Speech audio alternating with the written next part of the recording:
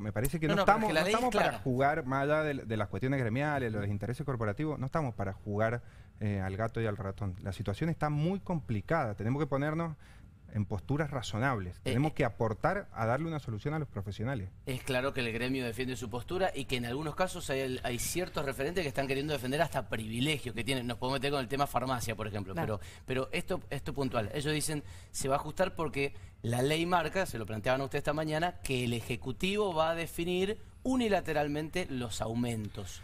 ¿Qué responde usted a eso? Dos cosas. La primera, yo entiendo que tengan que defender los intereses del, del gremio. En la situación actual no podemos priorizar los intereses gremiales de un gremio, hay que priorizar los intereses de los profesionales.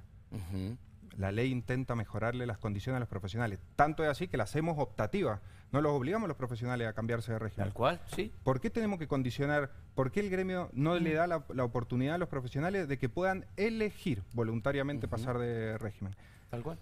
Me parece que hay, hay que tratar de no priorizar intereses corporativos frente al interés general y sobre todo de los mendocinos que necesitan que lleguemos con los servicios. Y en cuanto a las residencias, ¿no? También este tema tan complejo y que seguramente por allí habrán un montón de estudiantes que están viendo y que también están como atemorizados, ¿no? Cuando dicen qué pasa con la residencia, que en qué se puede llegar a mejorar, en cómo podemos llegar a hacerlo más atractivo, ¿no? Y en la remuneración también, ¿no? En el sistema, en la en la situación de trabajo que se encuentran los residentes, cómo también esto viene. Bueno, ahí hacemos un cambio de paradigma importante dentro Sí. de las residencias porque en vez de ponerlas por año, las ponemos por competencias. El- el- lo que nosotros estamos proponiendo es que las residencias sean por competencias.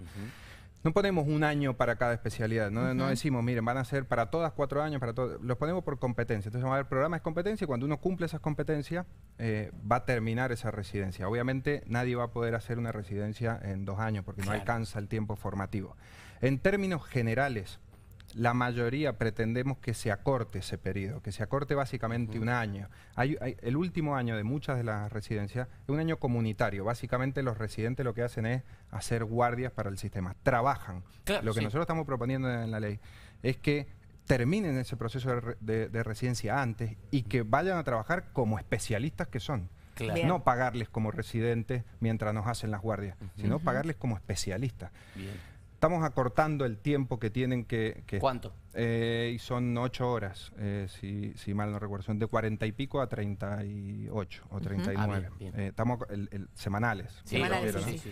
Estamos ampliando el, el plazo del, del descanso posguardia. También. Estamos permitiendo que las guardias sean remuneradas, que también le va eh, a beneficiar a los residentes. Pero